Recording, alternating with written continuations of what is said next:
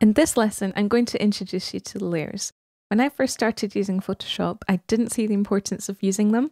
I thought they were complicated and confusing, but actually, I realised that they are a vital part to learn when designing in Photoshop. So, hopefully, by the end of this lesson, you will feel more comfortable using them. First of all, make sure you have your layers window open.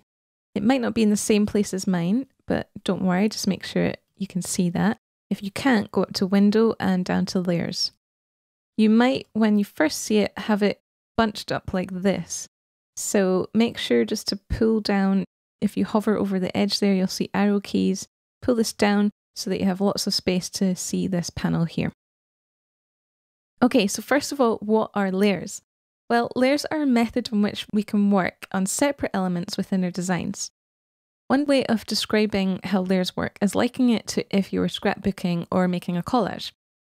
So, this is like adding layers on Photoshop. You start with a blank piece of paper, or in this case, our background, and you add pieces upon pieces to it to build up our image. And this is exactly what we will do with Photoshop. We will add layers upon layers upon it. Layers can contain graphics, images, backgrounds, text, and they can all be arranged, hidden, duplicated, grouped, removed, so, the advantages of working in layers is that you can easily delete or edit any part of your design without having to start over. It's a much cleaner and efficient way to work, so especially when you get into more complicated designs. So, it's definitely vital to use them. Let's get some practice. So, how about we go up to File and place an image again like we did in a previous video. I'm going to choose my peach flower. This time make sure to make it a PNG file because the PNGs have a transparent background to them. So we're just going to place that. And again, to place your image, double click on your screen. Now over on the right hand side, we can see that we have a peach flower in our layers panel. So when you want to move it around, you can see that you've got it selected and then you can move this piece. We can rename this. So double click on the area and then type in your what you'd like to rename it and click out for when you're done. Let's add some more pieces. A quicker way of adding pieces to your canvas, I'm just going to move Photoshop out a little bit.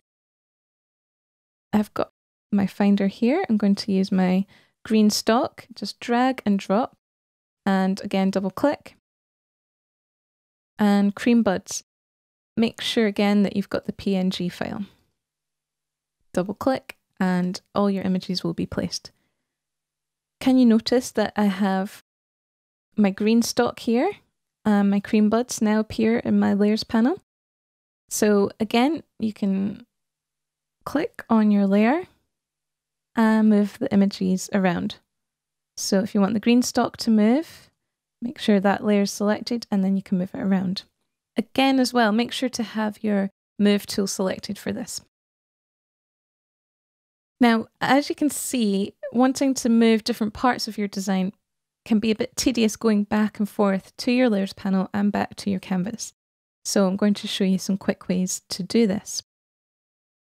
First of all, I'm going to show you a way to select your images on your canvas by clicking on the image that you want, so hovering over it, and then use your Command or Control key on your keyboard Hold that down and click. And can you see now that it moved and has selected the peach flower?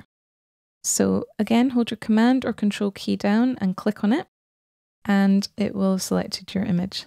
So this is a really good way of quickly getting around and selecting your pieces on your canvas. Another way to do this is by using this feature here. At the top, with your move tool selected in the top menu, you'll see auto select. This means that you can simply move and click on your image without even having to use your keyboard. So this is another great way.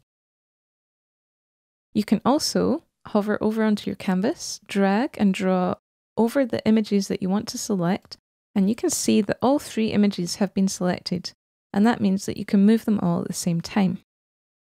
The only disadvantage of using this tool is sometimes when you're wanting to move images around, you end up double clicking on a few images. So the first method that I showed you by holding Command or Control on your keyboard is actually quite precise way of being able to click and select certain images, but it's entirely up to you what method you prefer.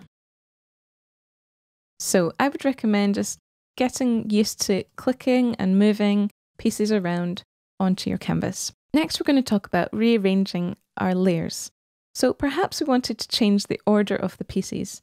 We like this peach flower, but we want the leaves to be behind our flower. So at the moment, we can see that they're in front of it. So to do that, simply go over to your layers panel, hover over the side and grab, pull it down, and it will go underneath your peach flower. And you can see it's done the same onto your canvas. We can then move around this piece. Going to do the same with the cream buds. Drag and drop, move it behind your peach flower. The top image on your uh, layers panel will be the top image on your canvas. So we can see that we can move pieces around again until we've got something that we like. Another great feature is that you can copy your layers very easily. So say for example, we like this cream bud and we wanted some more. So if you go across to your layers panel, hover on this bit and pull it, and pull it down to the bottom where you're going to select new layer. This icon looks a bit like a piece of paper with the edge folded up. Let go on there and you will have a cream bud copy. You won't be able to see it yet because it's copied right on top of the other image. But with your move tool selected, you can just simply move it around and you can see this cream bud appear. A quicker way of doing this is select the layer using Command or Control or your auto select feature. Then hold down your Alt key on your keyboard. The Alt key will bring up a small white arrow beside your black one and just simply drag and move and a copy will appear. As you can see on your layers panel, it's now entitled Cream Buds Copy 2. With too many layers though, we can easily delete. So to do that, again, I'll select your layer and pull it down to the trash can. And there your image will be deleted. Again, select the layer that you don't want. And then you can hit your delete button on your keyboard. Perhaps you're not sure about one of the elements in your design, say these cream buds. Go over to the eye icon and you can toggle this on and off. And this will make the layer visible or invisible. And then you can decide whether you like this part of your design or not. Maybe we really like this arrangement of our flowers and leaves and buds, but if we move one of the layers, the arrangement is messed up. I'm just going to undo that. To do that again, go up to Edit and step backward. So we want to combine these layers together. There are two different ways of doing this. The first one is to group the layers together, and it's basically like putting them in a folder. So we want to go over to the layers panel and select the layers that we want to group together. To do that, hold Command or Control on your keyboard and select each layer that you want. Drag and hold this down and pull it down to the icon that looks like a folder. Let that go and you can see that a new group has been created and automatically entitled Group 1.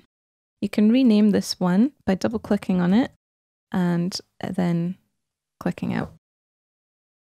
Okay, so basically all our images are now placed within a folder. If you click on this drop down menu, you can see all your pieces. The good thing about this is that it is still editable. So you can select your images within your folder and move them around. When you want, you can just close up your folder and then you can move your image around your canvas just how you would like it. If you're not happy with this arrangement anymore and you don't want them in a group, simply right click onto your layer and then go down to ungroup layers and all your layers will appear again. Perhaps you really like this arrangement though and you want to more permanently combine these layers together. So you're going to merge them together as one, almost like gluing them.